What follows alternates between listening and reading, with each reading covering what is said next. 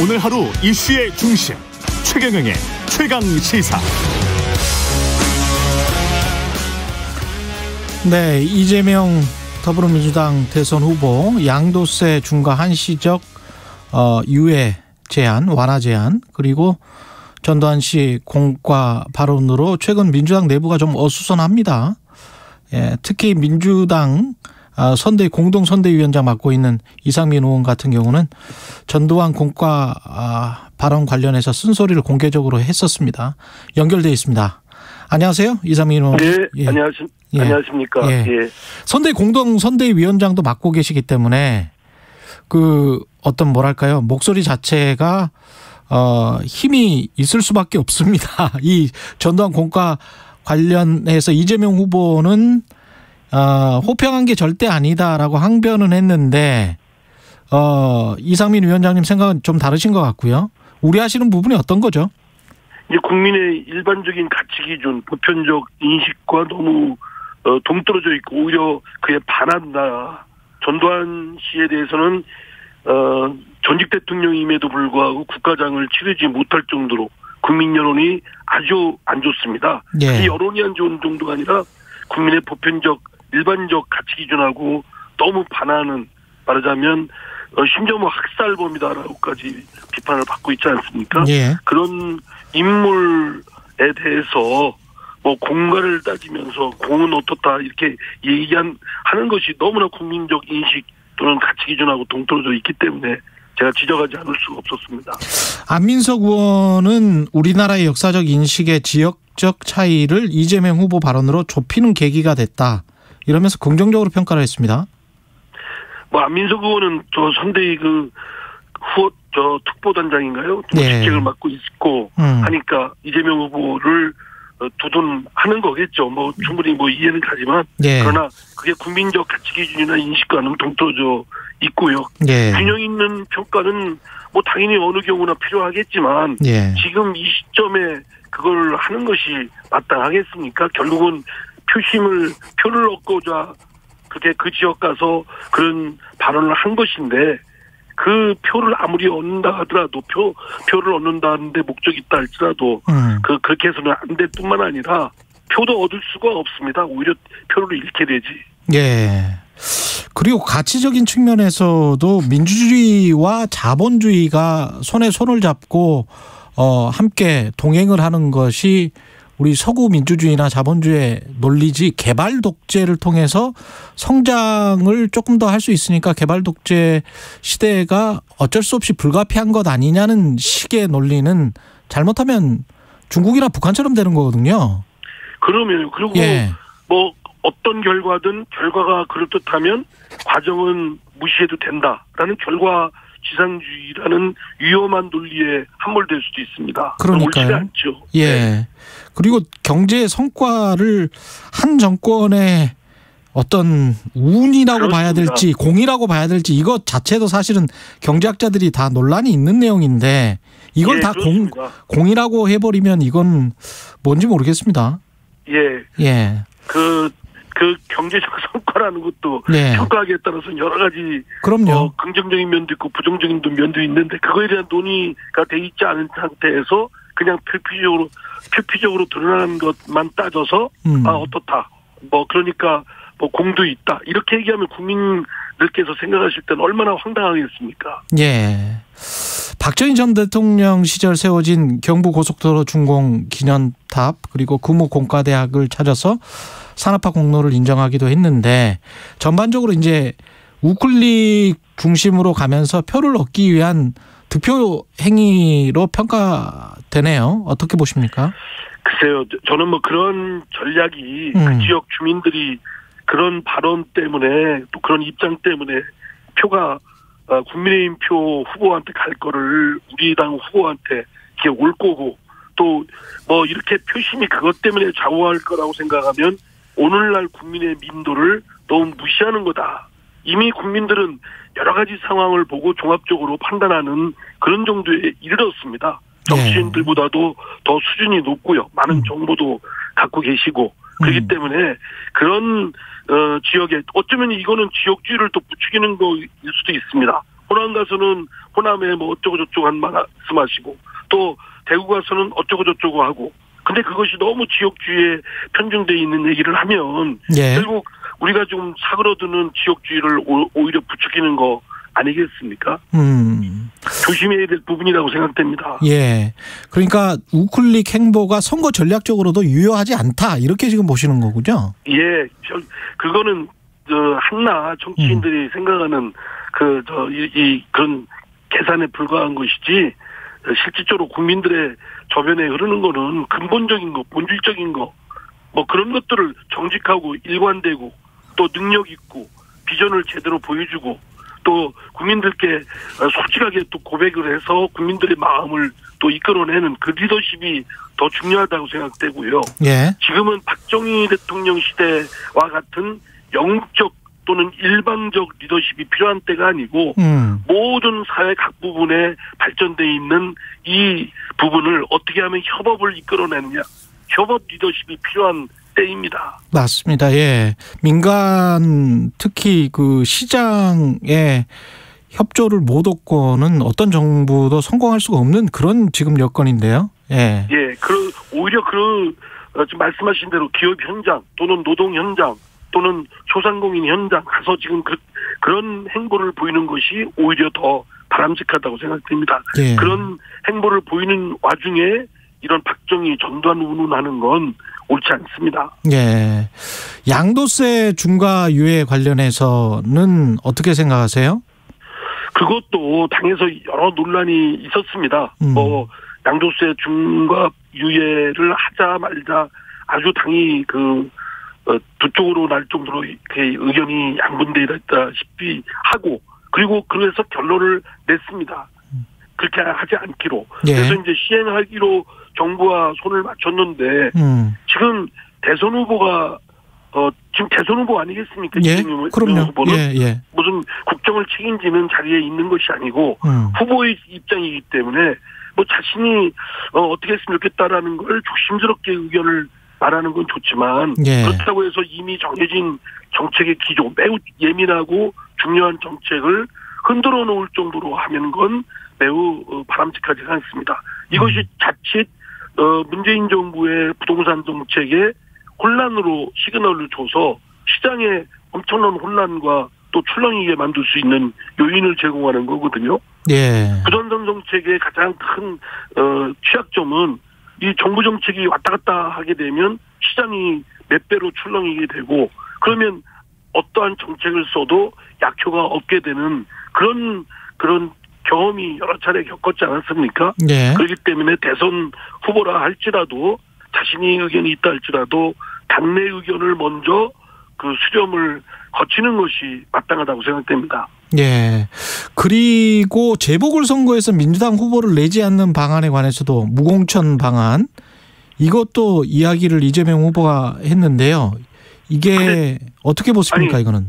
저도 뭐 그 의견에는 그 의견을 같이 합니다. 그러나 예. 절차적으로 예. 내용도 중요하지만 절차적으로 이재명 후보는 후보입니다. 음. 그렇기 때문에 당내에서 지난번 어쨌든 4.7 재보궐선거에 당원당규를 바꿔가면서까지 또 바꿔놨는데 예. 또 지금 와서 또 어떻게 하겠다고 후보 입장에서 얘기를 해버리면 음. 너무나 혼란스럽죠. 만약에 그런 의견이 있다면 내부적으로 당내에 그런 의견을 표출을 해서 당내에서 그런 의견이 논의가 이루어지도록 그래서 음. 하나로 수렴되도록 하는 절차를 밟는 게 마땅하지 그 후보의 입장에서 자꾸 어, 나서서 이래라 저래라 당 문제 또는 정부 문제 이렇게까지 하는 건 음.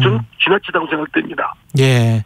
의견은 같지만 그 절차를 당 내에서 누군가 다른 사람들이 이야기를 하고 거기에서 논의가 돼서 합의가 될 수 있는 방향의 리더십이 필요하다 이런 말씀이시네요. 예. 예. 이재명 후보한테 정말 공개적으로 어 말을 하고 싶은 거는 예. 지난번 어 민주당의 이재명이 아니라 이재명의 민주당이 되겠다라고 해서 저는 질겁을 했거든요. 예. 민주당 이재명 후보는 음. 이재명의 민주당이 아니고 민주당의 이재명 후보입니다. 그 음. 당과 함께 당 속에서 의견이 조율되고 거기서 수렴되는 것에 대한 음. 부분에 대해서 받쳐주기를 바랍니다. 예. 의견이 같다고 말씀을 하셨으니까 좀 자세히 들어가 보면 종로 지역 또 포함이 됩니까? 무공 무공천을 결정을 하면? 글쎄요, 제가 지금 저 개인적인 의견을 말씀드리기에는 워낙 예민한 부분이고 예. 그 부분에 대해서는 깊게 생각한 바가 없기 때문에 예. 어, 그 말씀은 좀 삼가하겠습니다. 다만 일반론으로 말하면 예. 다원 단계에 원래 있던 것은 그 보- 재보궐선거를 치르게 되는 것이 예. 우리 당의 그 규칙 사유가 있다 할 음. 경우에는 후보를 그 보궐선거에는 내지 않는다. 음. 라는 그 정치개혁 차원에서 이루어진 거였거든요. 예. 그거는 여전히 견지돼야 된다고 생각합니다. 다만 예. 이제 구체적인 지역에 그 해당 지역인지 아닌지 여부는 제가 좀 말씀드릴 어, 정도로 숙고하지는 않았습니다. 이낙연 전 대표가 선거 유세에 에, 어떤 도움을 줄 수 있을 것 같은데 컴팩 시점도 변수긴 합니다. 언제 본격 합류할 것으로 보세요? 네, 이재명 아니 이낙연 후보께서는 뭐 당연히 민주당의 당원이시고 또 경선 후보이셨기 때문에 예. 저는 합류하실 거라고 생각합니다. 음. 민주당 당원이면 어쨌든 경선의 과정이 어떻든 간에 예. 그 결과에 승복을 하고 또 그 경선에 된 후보를 그 소- 선거를 돕는 것은 마땅하니까요. 예. 예. 다만 제가 이낙연 후보의 지금 언제 합류할 거냐라는 건 뭐 구체적인 정보를 얻기, 없기 때문에 음. 예, 그건 뭐 말씀을 그 정도로 하겠습니다. 이 당에서도 지금 다주택 양도 다주택자들의 양도세 중과 1년 유예안 있지 않습니까? 네네. 이게 그 논의가 되고 긍정적인 방향으로 가고 있습니까? 아 그렇지도 않습니다. 그렇지도 않아요. 예. 예, 양도세 중과는 그대로 시행돼야 되고 음. 이거는 어 물론 그 중에 이제 여러 어려움을 겪는 부분이 있지만 그분들이 어쨌든 다가구를 그 갖고 있는 다주택을 갖고 있는 분들이기 때문에 예. 부동산 시장을 안정화시키고 서민 주거를 확보하기 위해서는 부득이 할 수 없는 고육지책입니다. 가능하면 뭐 세금이야 줄여주는 게 좋겠지만 예. 그러나 양도세를 중과를 해서라도 다가 어, 다주택을 갖고 있는 분들한테 음. 하더라도 부동산 시장을 안정화시킨다는 이목 적은 흔들려서는 안 된다고 생각됩니다. 근데 그거를 음. 다시 또 유예하자고 이렇게 해버리면 음. 부동산 시장에 많은 혼란과 그 출렁이는 그 안정 안정에 오히려 반대되는 것을 부추기게 될 수 있다라고 생각됩니다. 이상민 의원도 그 비슷한 말씀을 하셨는데 그러면 지, 저 아니 진성준 의원도 비슷한 말씀을 하셨는데 지금 이상민 의원님도 비슷한 저 주장이시고요. 네, 네. 민주당 내에서 이렇게 다주 택자 양도세 중과 1년 유예안을 찬성 또는 반대하는 그 비율은 어느 정도나 될까요? 글쎄 제가 저- 전수조사를 한 거는 아니지만 예. 지난번 어쨌든 논란을 많이 빚다가 예. 그 유예를 하지 않는 걸로 음. 결정이 났거든요. 예. 그래서 그냥 그대로 실행하는 걸로 그리고 또 정부가 음. 또 그런 입장입니다. 음. 그 정부가 그런 입장인데 여당이 정부 입장과 반대되는 입장으로 갑자기 또 바꿀 수 있겠습니까? 아. 그런 취지에서 이재명 후보는 예. 어 여러 의견이 있을 수 있지만 예. 여러 의견이 있을 수 있지만 당내에서 조율을 먼저 절차적으로 거치는 것이 마땅하고 또 뜨거운 쟁점 예민한 문제는 아. 좀 신중할 필요가 있다라고 생각됩니다. 만약에 예. 당내에서 이를 받아들이지 않아서 음. 이를 입법을 하지 못하면 이재명 후보의 공신력이라든가 그 그렇죠. 체면은 어떻게 되겠습니까?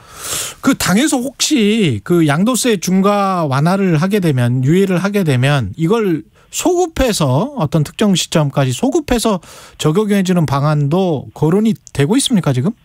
저는 뭐 그런 얘기는 들어본 바가 없습니다. 아 들어본 법 없으세요? 예, 보도가 잘못됐나요? 그러면? 예. 예. 그게 그게 말도 안 되는 얘기라고 생각되고요. 예. 아니, 정책이라는 게 그렇게 되면 예. 그러면 지금 부동산의 시장이 지금 물, 저 부동산가가 급등하고 하고 있는 어, 여러 정책이 함에도 불구하고 그렇죠. 꿈쩍도 안 하고 있는 거는 예. 정부 정책이 왔다 갔다 하고 어, 언젠가는 음. 이거 다시 어, 저 정부 정책이 따라올 수밖에 없을 것이다. 예. 풀 수밖에 없을 것이다. 이런 믿음을 그들이 갖고 있기 때문에 그렇습니다. 예. 그걸 깨기 위해서는 정부 정책이 어떤 상황이어도 끝까지 견지한다. 예. 라는 걸 가야 되는데 이거 뭐 어, 여, 정부 여당이 막 서로 엇박자하고 금방 이랬다 저랬다 하고 더더구나 소표를 한다고 하고 그런 말이 되겠습니까? 예.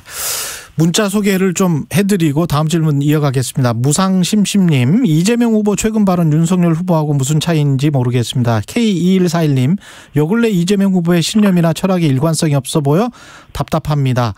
아, 8725님, 지금 대선의 최종 목표가 무엇인지 생각은 안 하시나요? 단지 이상민 의원의 개인적인 의견이라고 생각합니다.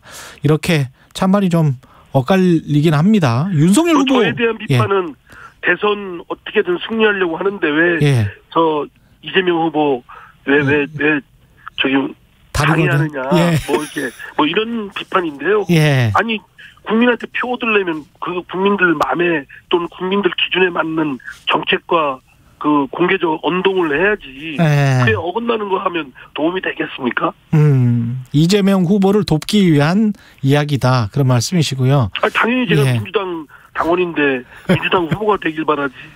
예. 그 지금 하는 것은 결코 국민들 그 민심과는 음. 동떨어지게 더더구나 본인이 왔다 갔다 하고 있지 않습니까? 예. 그러면은 기본적인 정치인에 대한 국민들이 갖고 있는 불신이 음. 믿을 수 없다는 거고 예. 믿을 또 이재명 후보에 대해서는 불안하다라는 건데 이렇게 발언이 왔다 갔다 하면 음. 아 국민들 보기에는 불, 신뢰가 생기겠습니까? 네. 윤석열 후보의 배우자 김건희 씨 그 경력 허위 경력 논란이 계속되고 있는데요. 어떻게 보세요? 이삼희 의원님은 이 내용을? 그 윤석열 후보는 또 뭐 관훈 토론에서 부분은 몰라도 전체적으로는 허위가 아니라는데 그런 말장난 말장난 아닙니까? 아니 그러면 부분이 허위면 전체가 다 허위인 거지. 예. 부분은 몰라도 허- 전체적으로 허위는 아니다. 예. 이분도 대선 나가신다는 분이 말을 정말 황당하게 하시는 겁니다. 그 물에 기름 한 방울 떨어져 있으면 그 물을 먹을 수는 없죠. 그렇습니다. 예. 그리고 우리가 개인의 사생활, 프라이버시를 알고자 하는 것이 아니고 그 개인의 부- 어, 사적 부분이라 할지라도 국가 국민과 직접적으로 가- 관련되는 중요한 어, 부분.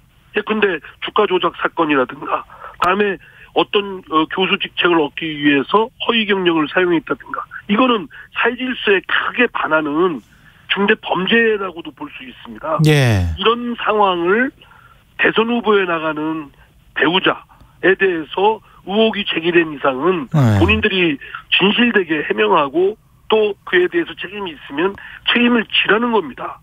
근데 그거를 뭐 부분은 몰라도 전체는 허위가 아니라고 한다든가 또는 과거 일에 대해서 뭐 물으면 되느냐 뭐 결혼 전의 일에 대해서는 물을 일이 아니다 뭐 이런 좀 황당무계한 얘기를 하는 이준석 것은 당대표가 그렇게 이야기를 했습니다. 네. 예. 근데 그거는 결혼 전 일에 책임을 묻는 거는 과하다. 이 논리는 어떻게 보세요? 결혼 전의 일에 대해서 책임을 묻는 게 아니고요. 예. 결혼 전의 일이라 할지라도 또는 어 소년 또는 청소년 때 일이라 하더라도 대선 공직에 나가는 사람으로서 국민들께서 공직 담당자로서 음. 자격이 있는가 적격 심사를 하는데 필요하면 밝혀야죠. 음. 근데 지금 주가 조작 사 의혹이라든가 또는 허위 경력을 교수에 그 채용하는데 활용했다는 거 그거는 네.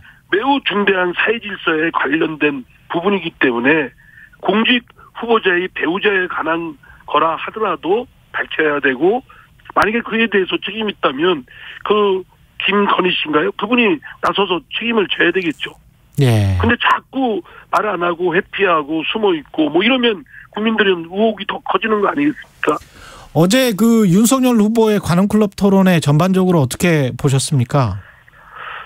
어 물론 뭐 문재인 정부에 대한 반감 또 어, 뭐 이런 것들이 있는 건 좋지만 이제 대선 후보 나오신 분이 관훈 토론회에 나왔으면 보다 좀 이성적이고 정밀하게 대선을 임해서 그 앞으로 국정을 어떤 비전과 그 방안을 가지고 밀고 가겠다. 또 현안은 어떻게 해결하겠다. 이렇게 구체적으로 얘기하는 것이 선거 전략에도 도움이 되고 국민들한테도 믿음을 주지 않겠습니까? 예. 시종일관 그 반문 정서에 대한 것만 토로하는 것 같아서 좀 매우 그 좀 안타깝다. 대선 내 그 수준이 상향 조정이 돼야지 자꾸 하향 평준화 돼야 되겠습니까? 예. 알겠습니다. 여기까지 듣겠습니다. 말씀 감사합니다. 네, 감사합니다. 예, 더불어민주당 선대위 공동선대위원장 이상민 의원이었습니다. 공정, 공익,